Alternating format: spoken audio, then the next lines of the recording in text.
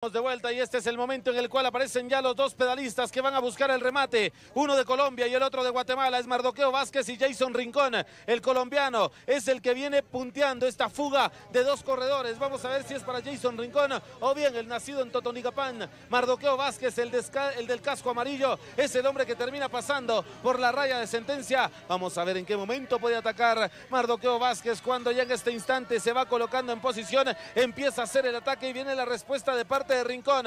Rincón que está tratando de atacar y de pesar nuevamente al frente. Se vendrá el remate en esta meta. Atención que el colombiano se está colocando a la cabeza. Ahí vemos a Mardoqueo Vázquez que empieza el remate final. Atención, Mardoqueo Vázquez. Empuja la bicicleta. Ha ganado el corredor guatemalteco Jason Alejandro Rincón. Me parece que se desconcentró prácticamente en los últimos tres metros. Vimos que levantó la mano y eso lo desconcentró y aprovechó Mardoqueo Vázquez para empujar la bicicleta y quedarse con la tercera, con la primera posición. Y por supuesto esa victoria para el equipo de Cuajo Luna. Y cuando levantaba primero el puño derecho para celebrar, Jason Rincón le salta el guatemalteco por izquierda, le tira el codo y eso. Detuvo Mardoqueo Vázquez para ganar la etapa por media rueda, pero le ganó al colombiano Mardoqueo Vázquez. Tapa los cronómetros en 3.22.50 y el mismo tiempo será para Jason Lincoln. Tercero, gran carrera del de Chimaltenango.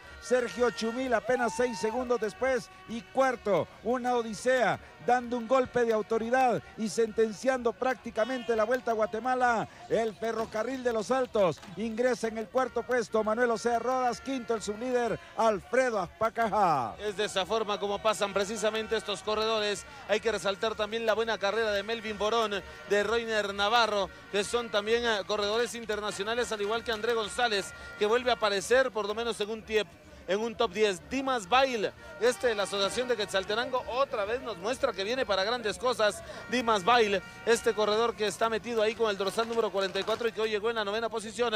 Y Esdras Morales, que vino haciendo una gran fuga. Esdras Morales, que se vino solo al frente, pero luego ya no le dieron las piernas en el ascenso y terminó sucumbiendo, pues precisamente ya sobre la parte alta. Manuel Rodas mantiene el primer puesto de la clasificación general individual con 23 horas 18 minutos segundos. Aparece luego Alfredo Pacajá que se mantiene a 28 segundos de Manuelito Rodas. Y luego el que ganó hoy, Mardoqueo Vázquez, es tercero de la general individual del Cuajo Luna. Mientras que Jason Rincón se perfila para ser el ganador de esta vuelta a Guatemala, pero en la categoría sub-23. Así es, prácticamente con la diferencia que está marcando Jason Alejandro Rincón sobre Freddy Toc, definitivamente estaría en lo último. Ahí está Julián ya que en estos momentos saludando al público que le aplaude, está cerca de su tierra también. Por cierto, mañana saldremos de Pamezabal, que es la tierra de Julián Jack.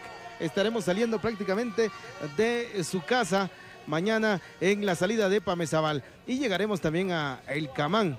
Por cierto, va a haber una caravana también eh, en esta tarde desde Pamezabal para darle la bienvenida ya a esa etapa de la Vuelta a Guatemala. Y ahí está la repetición del remate en estos momentos. Veamos cómo Jason Rincón se desconcentra mientras que el eh, corredor Mardoqueo Vázquez todavía en posición de ataque, en posición de remate, se lleva la victoria. Es lo que observamos en estos instantes, eh, Jorge. Si hubieran entrado empatados por el hecho de sacar el codo por parte de Jason Rincón, igual se la hubieran dado al guatemalteco, pero a fuerza de pedaleo fue Mardoqueo Vázquez el que terminó pasando primero. Extraordinario el trabajo de nuestros compañeros de la unidad móvil, departamento técnico y de producción de la televisión guatemalteca. Vea usted ahí, levanta la, mano derecha, se da cuenta que Mardoqueo le va a ganar, estira el codo izquierdo, no le da tiempo de ganarle a Mardoqueo que pasa media rueda adelante y el guatemalteco se consagra ganando esta difícil, esta vistosa, esta atractiva, esta técnica etapa que tuvo ascensos, que tuvo descensos, que tuvo un circuito y que además tuvo nueve kilómetros de terracería para el triunfo. Ahí está el fotofinish de la televisión guatemalteca, Mardoqueo Vázquez, indiscutible, ganador de la etapa sobre el colombiano Jason Rincón. Aprovecha entonces Guatemala otra vez este tipo de territorios, este, este este tipo de terrenos.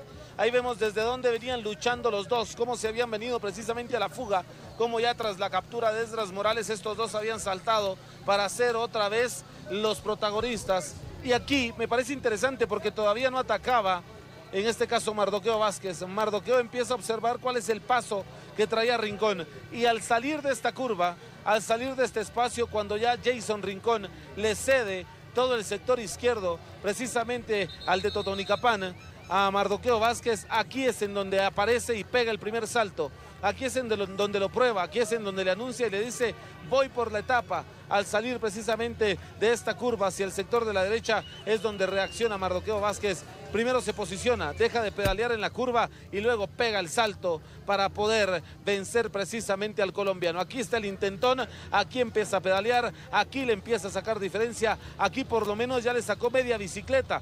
Y aquí en la recta es en donde el colombiano también empieza a meter fuerza. Se mete el colombiano a tratar de dejar en el camino a Mardoqueo Vázquez, que no deja de luchar, que no deja de pedalear y la diferencia sigue siendo de media bicicleta. Pero acá, cuando el colombiano sentía que ya estaba la ganancia, que ya se había definido para él y para su equipo, para el Edimar de Colombia, aparece precisamente la segunda opción, Mardoqueo Vázquez, que saca fuerzas de flaqueza. Aquí nuevamente le saca por lo menos media rueda y trata de celebrarlo el colombiano, pero ya el remate era para el Chapín que termina pues alzando los brazos y cruzando en la piedra María Tecún, la famosa piedra María Tecún, aquí en el occidente del país. Y fue una pelea de campeones nacionales de ruta, porque recordemos que Jason Alejandro Rincón es el campeón nacional eh, de ruta en la categoría sub-23, mientras que Mardoqueo Vázquez es el campeón nacional de ruta de Guatemala en la categoría élite y, Mardoqueo le ganó nada más y nada menos que al campeón sub-23 de Colombia. O sea, hablar de ese campeonato sub-23 de Colombia es hablar de algo grandísimo. Recordemos eh, que Colombia es cuna de ciclismo, corredores, el mismo eh, ganador del Tour de Francia, Egan Bernal, es corredor todavía sub-23 Imagínese usted.